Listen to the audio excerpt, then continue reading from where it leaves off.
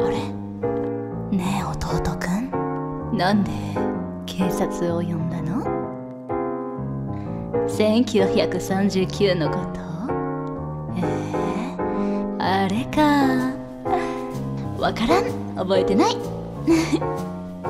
ていうかなんで弟くんなれのこと知っているの？弟くん？ずるいよ。ねえ弟くん許してくれないか？